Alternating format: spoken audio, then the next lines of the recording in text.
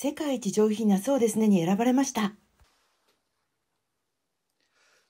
ええ、まあ、そうですね。まあ、藤井八冠という、まあ、人類史上の、まあ、偉業、まあ、